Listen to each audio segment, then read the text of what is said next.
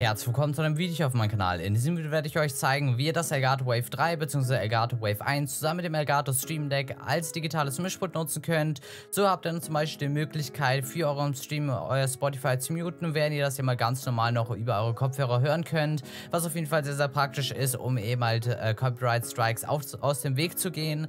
Bleibt also auf jeden Fall bis zum Ende dran und wenn natürlich in Zukunft keine weiteren solche Videos mehr verpassen wollt, lasst hier gerne ein Abo da, schaut natürlich gerne auf dem Twitch-Kanal vorbei und ich würde mich natürlich auch freuen, wenn ihr dieses Video bewertet, kommentieren und teilen könnt. Wie gesagt, braucht ihr, um das Ganze nutzen zu können, einmal das Wave 3 bzw. Wave 1. Bei den beiden äh, Mikrofonen ist nur der Unterschied einmal natürlich der Preis und beim Wave 1 habt ihr hier ein paar weniger Einstellungsmöglichkeiten direkt am Mikrofon. Letztendlich funktioniert das Ganze mit dem digitalen Mischpult, aber genauso gut bei beiden. Ähm, also könnt ihr euch eben halt beim Wave 1 ein bisschen Geld damit sparen. Und dann braucht ihr als zweites natürlich noch einmal das Stream Deck. Da könnt ihr auch keine, ähm, keine Third-Party Stream Decks nehmen, also keine Stream Decks von einer anderen Firma weil ihr damit immer nicht diese äh, Option habt, die Wavelink Software mit dem Stream Deck nutzen zu können. Das geht eben halt nur, wenn ihr das Stream Deck immer auch von Elgato habt. Hier gibt es aber auch wieder unterschiedliche Versionen, natürlich mit unterschiedlichen Preisen, die ihr nutzen könnt.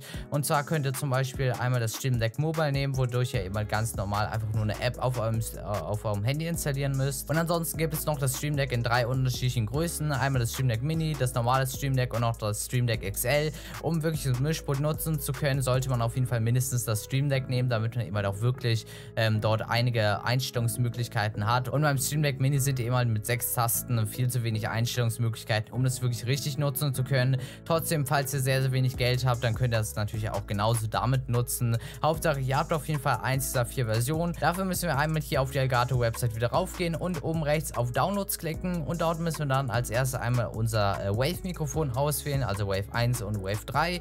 Dann müssen wir das natürlich einmal runterladen. Die Software dazu nennt sich Wave Link. Und dann müssen wir als nächstes noch einmal zum Stream Deck das Ganze herunterladen. Wenn ihr das beides installiert habt, dann sollten die so äh, beiden Apps ungefähr so aussehen. Wenn ihr diese App startet, werden wahrscheinlich noch nicht so viele Inputs hier sein. Um weitere hinzuzufügen, müsst ihr nämlich einmal auf einen freien Channel klicken, dort ein Audio-Device hinzufügen und falls ihr immer noch keine, äh, falls ihr immer noch nicht diese ganzen äh, Inputs ausgewählt habt, dann werden euch die hier auch noch angezeigt. Jeden Input könnt ihr auch nur ein einziges Mal verwenden. Das heißt, falls ihr immer schon alle eingestellt habt, dann werden die euch logischerweise natürlich auch nicht mehr hier angezeigt. Letztendlich müsst ihr tatsächlich auch nicht die, den Input, der hier Music heißt, für Musik wirklich benutzen. Ihr könnt das am Ende für alles benutzen, aber das Zeichen ist ja eben halt für Musik und deshalb empfiehlt es sich natürlich am ehesten, das dann auch direkt für Musik zu nehmen.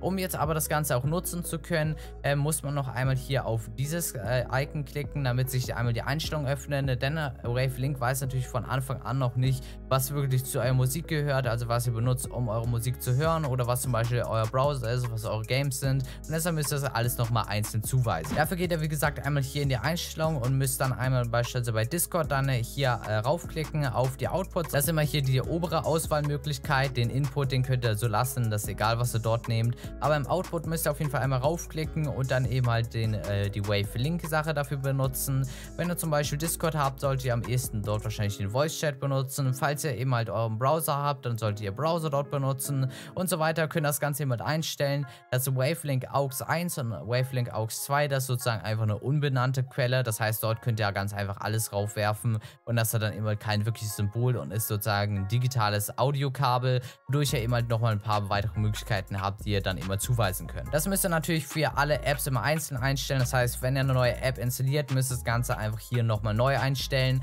Wenn ihr das nicht macht, dann werdet ihr es eben halt auch am Ende nicht hören können. Also wundert euch nicht, wenn ihr das Ganze immer so in diesem Audio-Setup habt, dass ihr immer neue Apps generell erstmal ohne Ton habt. Um die ganzen Apps hier natürlich sehen zu können, sollten ja auch geöffnet sein. Ähm, das heißt, ihr müsst einmal jedes Spiel dann einmal öffnen, damit ihr das Ganze mal hier auch einstellen könnt. Wenn ihr es aber einmal eingestellt habt, dann könnt ihr es natürlich auch wieder schließen und beim äh, Restart ist es dann automatisch wieder eingestellt. Um aber letztendlich auch was hören zu können, müsst ihr noch beim Monitor-Mix hier einstellen, was eure äh, Lautsprecher sind. Da ist nämlich automatisch ausgewählt hier diese Headphones vom Elgato Wave 3, denn das hat ja hinten am Mikrofon einen Audioanschluss dran. Wenn ihr dort euer Mikrofon äh, bzw. euren Kopfhörer nicht angeschlossen habt, dann müsst ihr eben halt das auswählen, wo es wirklich angeschlossen habt. Bei mir wäre das zum Beispiel Realtek Air Audio und das müsst ihr dann einmal anklicken, damit ihr immer darüber dann auch euren äh, Sound hören könnt. Der Monitor-Mix ist ja immer das, was ihr immer auf euren Kopfhörern hört und der Stream-Mix ist das, was letztendlich an OBS weitergeleitet wird. Dazu, wie man das allerdings einrichtet, kommen wir erstmal später. Als erstes werden wir uns hier noch einmal die ganze Oberfläche anschauen und zwar haben wir hier auch wieder unterschiedliche Möglichkeiten, die wir einstellen können. Als erstes können wir nämlich hier oben einmal sehen, was die ganzen einzelnen Inputs sind und hier oben mit den grünen Balken könnt ihr einmal immer sehen, wie äh, laut das Ganze auf dem linken und auf dem rechten Ohr ist, dadurch, dass äh, natürlich nicht alle Sachen Stereo sind, wie zum Beispiel das Mikrofon, was natürlich ein Mono-Mikrofon ist, sind beide dann gleich. Falls ihr aber zum Beispiel Musik hört, wo eben halt häufig auf, auf dem linken und rechten Ohr unterschiedliche Sachen sind, äh, also unterschiedliche Lautstärken sind, könnt ihr immer dann noch hier sehen, dass es links und rechts ein bisschen unterschiedlich ist. Also falls ihr immer halt äh, Stereo eingestellt habt beim eurem Mikrofon, dann solltet ihr auf jeden Fall sehen, dass es hier unterschiedlich ist und damit könnt ihr das auch ein bisschen überprüfen, weil es sich nämlich meistens auf Stereo nicht wirklich so gut anhört und dadurch könnt ihr das Ganze etwas leichter überprüfen. Ansonsten könnt ihr hier direkt auch immer die Einstellung, also die Lautstärke direkt einstellen. Hier könnt ihr nämlich auf der rechten Seite einmal immer einstellen, wie laut es für den Stream sein soll, beziehungsweise für OBS generell sein soll und dann wie laut es auf euren Kopfhörern sein soll. Ihr könnt nämlich zum Beispiel auch direkt euer Mikrofon abhören ähm, und dadurch jemand hören, wie ihr euch selbst jemand anhört. Meistens ist es aber eher praktischer, das Ganze zu verwenden, wenn man zum Beispiel Musik hat, dann könnt ihr das nämlich zum Beispiel für den Stream komplett muten. Dafür könnt ihr auch hier unten einfach komplett draufklicken und ihr könnt natürlich hier den Regler auch einfach verschieben. Dadurch wird sich natürlich die Lautstärke ebenfalls für den Stream ändern und ihr könnt es natürlich auch für euch leise machen und nur für den Stream laufen lassen, wenn ihr zum Beispiel Copyright-Free Music habt, die ihr immer selbst gar nicht hören wollt. Wenn ich hier oben raufklingt, dann könnt ihr das Ganze äh, linken. Das heißt, wenn ich jetzt eines verschiebt, dann verschiebt sich das andere auch gleich mit. Wenn ihr das vorher auf einem unterschiedlichen Level hattet, dann wird sich immer der Abstand dadurch auch nicht vergrößern. Das heißt, ihr könnt das dann im gleichen Schritt lauter und leiser machen. Ist auch immer wieder ganz praktisch. Und wenn das immer nicht so habt, dann könnt ihr immer beides komplett einzeln verschieben. Das könnt ihr natürlich für jeden Input einzeln machen. Und hier unten beim Monitor Mix und beim Stream Mix könnt ihr zusätzlich auch nochmal die generelle Lautstärke verringern. Das heißt, falls ihr immer generell für euren Kopfhörer leiser haben wollt und zwar über alle Checks, dann könnt ihr das auch hier unten machen. Und hiermit mit diesem Icon könnt ihr eben halt ähm, entscheiden, ob ihr das hören wollt, was eben halt für eure Kopfhörer gedacht ist oder ob ihr eben halt das zwischenhören wollt, was eben halt für euren Stream gedacht ist. Damit könnt ihr dann zum Beispiel checken, was die Audio-Levels sind, die ihr eben halt euer Stream hört, weil es nämlich manchmal etwas äh, schwierig ist, das Ganze zu erkennen, wenn ihr natürlich eben halt auf euren Kopfhörern immer ein unterschiedliches Soundlevel habt als für euren Stream. Bei mir habe ich tatsächlich das Mikrofon komplett gemutet in der Wavelink Software, das heißt, ich benutze sozusagen Wavelink als reines Mischpult für meine ganzen Sachen, die immer halt von meinem PC kommen, also etwas wie Musik, Discord, mein Spielsound und so weiter. Nur dafür benutze ich das und das, äh, das Mikrofon packe ich später äh, einzeln in OBS rein. Wie gesagt, zeige ich euch auch noch, wie das Ganze funktioniert. Wenn ihr aber wollt, dass ihr das Ganze immer etwas leichter habt und alles immer zusammen so in OBS reinpacken wollt, dann müsst ihr hier immer darauf achten, dass es auf jeden Fall für den Stream entmutet ist, damit man das Ganze natürlich hier auch einmal über den ganzen Mix am Ende hören könnt. Denn alles, was hier ins Streammix reinkommt, das werdet ihr dann letztendlich auch in OBS als Quelle reintun und das wird dann alles zusammen eben halt in OBS dann drin sein. Jetzt werden wir uns als nächstes direkt einmal zum Stream Deck wenden und hierfür habe ich, weil ich das Ganze eben schon vorher alles so eingestellt habe, ein extra Ordner gemacht. Ihr werdet allerdings die Wave Link Software hier noch nicht direkt sehen können und zwar müsst ihr davor einmal auf More Actions klicken und dann nach Wave Links suchen, das Ganze einmal installieren. Ihr könnt auch noch Profile dafür installieren. Wenn ihr noch keine weiteren Tasten hier eingestellt habt, dann wird es auf jeden Fall ganz praktisch sein. Da ich aber das Ganze schon eingerichtet habe, habe ich das dann immer nicht installiert, also kein neues Profil installiert und das Ganze in einen neuen Ordner gepackt. Und hier ist dann alles sozusagen für meine Wave Link äh, Integration. Um hier diese ganzen Tasten auswählen zu können, müsst ihr einmal oben rechts dann auf Wave Link suchen. Solange ihr das Ganze installiert habt, dieses Plugin, solltet ihr das Ganze sehen können. Ihr müsst dafür auch Stream Deck nicht schon mal neu äh, starten, um das Ganze sehen zu können, sonst sollte einfach instant funktionieren. Hier gibt es dann als erstes einmal zwei unterschiedliche Sachen, die ihr benutzen solltet, und zwar einmal die Mute Input Funktion und dann noch die Just Input Volume Funktion. Die habe ich hier alle angewendet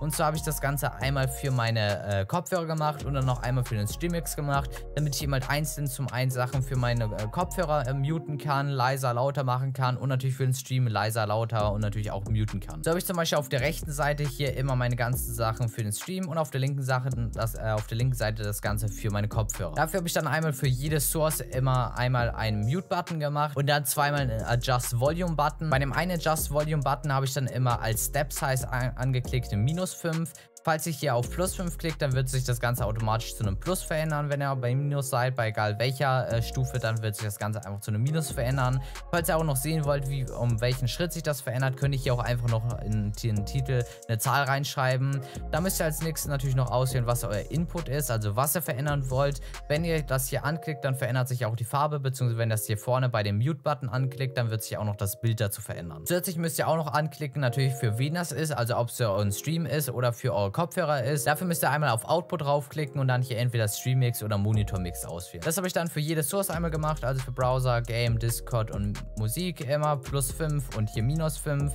und dann hier ein Mute-Button. Das praktische beim Mute-Button ist auch, dass ihr dort direkt sehen könnt, was es zum einen für eine Quelle ist. Also mit dem Feld kann man das immer ganz gut sehen.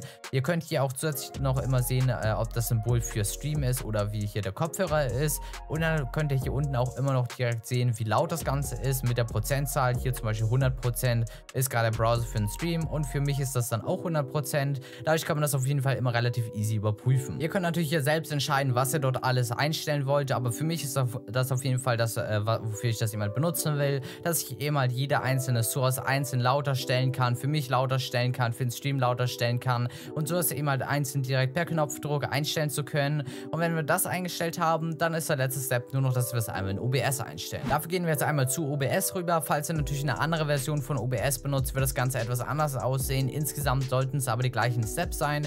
Und zwar müsst ihr als erstes einmal auf Settings klicken und dann auf Audio klicken. Und dort müsst ihr dann bei eurem Mikrofon auswählen Wave Link Stream. Das ist sozusagen der gesamte Streamix. Das heißt, alles, was ihr beim Streamix als Output habt in eurer Wave Link Software, wird über den Wave Link Stream dann hier auch in OBS übertragen. Das heißt, wenn ihr dort euer Mikrofon ausgewählt habt, dann müsst ihr gar nichts weiteres machen. Dann ist alles direkt da drauf. Alle Lautstärken, die ihr dann also in Wave Link einstellt, werden dann auch direkt zu OBS übernommen, was auf jeden Fall fürs einfache Stream, fürs einfache Video aufnehmen komplett ausreicht. Wenn man aber vor allen Dingen Videos aufnehmen will und dort dann im Nachhinein noch so etwas einstellen will, wie die Lautstärke vom Discord, vom Game oder eben halt vom Mikrofon einstellen will, dann ist auf jeden Fall praktisch, das Ganze noch etwas erweiterter zu machen und dafür müsst ihr, wie gesagt, im Wave, in eurer Wave Link Software einmal euren, euer Mikrofon auch für den Stream muten, sodass ihr eben halt wirklich nur euer Desktop-Audio in der Wave Link Software habt. Wie gesagt, falls ihr das nicht machen wollt, seid ihr hier schon fertig, dann müsst ihr die ganzen Steps, die jetzt eben halt kommen, gar nicht mehr machen. Falls ihr aber letztendlich noch diese weiteren Steps machen wollt, dann bleibt jeden Fall dran. Und zwar müssen wir jetzt einmal die ganzen unterschiedlichen Tracks, die wir vorher auch im Wave Link ausgewählt haben, einmal in OBS auswählen. Dafür können wir zum Beispiel ganz einfach auf Desktop Audio klicken und dann hier Wavelink Voice Chat zum Beispiel auswählen, damit wir dann eben halt euren, unseren Discord auf einen eigenen Track in OBS direkt reinpacken können. So habe ich das zum Beispiel mit dem Voice Chat gemacht, mit dem Game, äh, mit dem Game Sound und dann natürlich noch einmal mein Mikrofon ausgewählt. Fürs Elgato Wave wäre das äh, dann einfach hier Mic In, äh, was ihr auswählen müsst. Und zusätzlich habe ich nochmal als zweites Mikrofon eine Wavelink Stream ausgewählt, damit das sozusagen auch nochmal eine zusätzliche Quelle ist, die ich dann als gesamten Mix dann auch benutzen könnte. Hier müssen wir aber aufpassen, denn jetzt kommt natürlich als erstes einmal äh, natürlich das Game Audio zum Beispiel über den Wavelink Output und dann nochmal zusätzlich über den Game Output. Das heißt, am Ende würde sich das in der Aufnahme oder im Stream gedoppelt anhören und dafür müssen wir noch ein paar zusätzliche Einstellungen machen. Dafür müssen wir nämlich als nächstes einmal wieder in die Settings gehen, auf Output klicken und dann einmal hier bei Stream auswählen, welcher Audio-Track gewählt werden soll. Dafür müssen wir nämlich einmal hier in unsere Settings wieder gehen, auf Output klicken und dann hier einmal auf Streaming gehen und dort können wir einmal einen Twitch VOD-Track wählen und einen normalen Audio-Track nehmen. Der äh, normale Audio-Track hier ist immer dafür da, was ihr immer am Ende das Stream hört. Das heißt, dort sollte alles dann drauf sein, was ihr immer der Stream am Ende hören soll. Am besten natürlich einmal euer Wave-Link, dann euer Mikrofon. Falls ihr Alert-Sounds habt, sollte das auch auf jeden Fall darüber gehen. Dafür habe ich zum Beispiel Audio-Track 6 genommen. Und für meinen VOD-Track will ich zum Beispiel keine Alerts drin haben, damit ich das später in der Aufnahme, wenn ich eben halt letztendlich die, das Twitch-VOD runterladen will für ein Video, dass ich dort immer keine Alerts drin habe. Deshalb habe ich das auf Track 1 gepackt damit dort sozusagen nichts davon raufkommt. Für die Aufnahmen muss man das Ganze natürlich auch nochmal einzeln einstellen. Dafür habe ich dann die ganzen restlichen Tracks benutzt, also Track 2, 3, 4 und 5. Die vier Tracks sind dann sozusagen äh, dafür da, dass wenn ich das in der Aufnahme habe, immer ein Schnittprogramm habe, dass dort halt alle vier Spuren einzeln angezeigt werden. Dabei müsst ihr aber aufpassen, dass es nicht in jeder Schnitt, in jedem Schnittprogramm funktioniert. Falls ihr aber DaVinci Resolve äh, benutzt oder so etwas wie Premiere Pro benutzt, funktioniert das auf jeden Fall. In manchen ganz günstigen bzw. gratis Schnittprogrammen funktioniert das aber wie gesagt gesagt teilweise nicht. Also schaut am besten vorher einmal in euer Schnittprogramm rein, ob das überhaupt Multiple Tracks supportet. Falls es aber geht, würdet ihr zum Beispiel, wenn ihr hier diese Aufnahme am Ende in, euren, in euer Projekt, in eurem Schnittprogramm ähm, reinladet, würde, würden eben halt vier unterschiedliche Audio-Tracks angezeigt werden. Und wenn man das jetzt richtig routet, dann kann man zum Beispiel einzeln später im Schnittprogramm das Game-Audio, den Voice-Chat und eben mal das Mikrofon auch alles leiser machen und hat dadurch immer nicht so viel damit zu kämpfen, dass das Ganze eben von Audio-Levels dauerhaft von vornherein passt. Wenn dann zum Beispiel hinten im Voice-Chat irgendjemand richtig laut schreit oder einfach nervig ist, dann kann man das Ganze einfach noch später im Schnittprogramm muten, was auf jeden Fall extrem praktisch ist und manchmal einem auf jeden Fall auch vor allen Dingen die Aufnahme retten. Damit das jetzt aber richtig funktioniert, müsst ihr noch einmal auf die Advanced Audio Properties gehen. Dafür müsst ihr einmal hier aufs Zahnrädchen gehen und dann auf Advanced Audio Properties gehen. Und hier müsst ihr dann einmal eure ganzen Tracks, den ganzen ähm, Sources hinzuweisen. Das heißt, den ganzen Audio-Devices, die ihr habt, die müssen dann auf eigene Tracks zugewiesen werden. Wie gesagt, wir hatten ja den Twitch VOD Track, wo wir keine Alerts haben wollten. Deshalb sind hier Alerts aus. Chat, ähm, Widgets und Streamcam könnt ihr übrigens komplett ignorieren. Da kommt sowieso kein Sound rüber. Wir müssen immer nur Mikrofon, Game, Discord, die Alerts, wie gesagt, und natürlich Wave Link beachten. Und da wir natürlich das Ganze erstmal als generellen Mix haben wollen, habe ich dort Wave Link und Mikrofon ausgewählt. Sozusagen das, was am Ende auch der Stream hört. Bei Stream ist dann nämlich zum Beispiel alles ausgewählt. Hier habe ich nur die beiden Sachen ausgewählt, weil ich natürlich auch ähm, meinen Browser nicht nochmal extra habe. Man, man kann ja immer nur zwei unterschiedliche Desktop-Audio-Devices in OBS benutzen. Und deshalb eben halt, wenn ich was im Browser mir eben halt angeschaut habe, dann würde man das eben halt sonst nicht im VOD-Track hören können. Und man kann ja sowieso nur einen einzigen Audio-Track am Ende im Twitch-VOD haben und deshalb lohnt es sich auch nicht dort irgendwas anderes einzustellen. Also würde ich euch auch empfehlen, einmal Wavelink und dann natürlich euer Mikrofon auszuwählen. Für den Stream, das hatten wir ja auf Track 6, habe ich dann alles einmal angelassen. Bis auf natürlich Discord und Game, weil natürlich auf diesen beiden Sachen das Ganze auch schon bereits über Wavelink gegangen ist. Also über Wavelink hört man ja sowieso Discord und Game Sound, deshalb muss man das da nicht auch nochmal extra hören. Die restlichen vier Tracks wollten wir ja wie gesagt für die Aufnahme benutzen. Und dort habe ich als erstes einmal äh, mein Mikrofon ausgewählt, was auf dem ersten Track ist. So hört man das zum Beispiel in der Aufnahme immer nur als erstes das Mikrofon. Das heißt, falls man das auch direkt auf YouTube hochladen sollte, dann wird kein Sound im Hintergrund irgendwie benutzt, sondern es würde dann immer wirklich nur der Mikrofon-Sound hochgeladen werden, da immer bei YouTube dann immer nur direkt der erste Track benutzt wird und immer keine weiteren Tracks benutzt werden. Als zweites habe ich dann aber trotzdem meine Wave Link Mix benutzt. Das heißt, damit könnte ich dann zum Beispiel, wenn ich immer trotzdem etwas über den Browser gehört habe oder dort immer Sound vom Browser kam, dass ich das dann immer notfalls darüber auch noch anstellen kann. In der Regel wäre das aber ein Track, der auf jeden Fall sehr, sehr schnell weggecuttet werden würde. Und dann habe ich nochmal auf Track 4 meine Game Sound und auf Track 5 am Ende Discord, sodass ich eben halt äh, normalerweise in meinem Schnittprojekt Track 2, 4 und 5 benutzen würde. Bei Track 2 kann ich dann mein Mikrofon äh, lauter und leiser beispielsweise machen. Bei Track 4 kann ich dann meinen Game Sound einstellen und bei Track 5 kann ich nochmal meinen Discord Sound im Nachhinein einstellen. Wenn ihr das alles gemacht habt, werdet ihr dann am Ende die Möglichkeit haben, in eurem Stream mit dem Stream Deck die ganzen Lautstärken von den einzelnen Apps einstellen zu können und so natürlich zum Beispiel auch den, äh, die Musik für euren Stream komplett zu muten, wenn ihr ganz normal euren Copyright Music hören könnt. Und ihr habt natürlich gleichzeitig die Möglichkeit im Schnittprogramm später die einzelnen Tracks, die einzelnen Apps dann eben auch nochmal lauter und leiser stellen zu können, damit ihr auf jeden Fall keine weitere ähm, Aufnahme verloren geht, beziehungsweise die Qualität auf jeden Fall von euren Aufnahmen und von euren Streams besser wird. Ich hoffe, ich konnte euch auf jeden Fall mit diesem Video weiterhelfen. Schreiben wir mir gerne Feedback in die Kommentare und hoffe, wir sehen uns zum nächsten Video wieder. Bis dahin.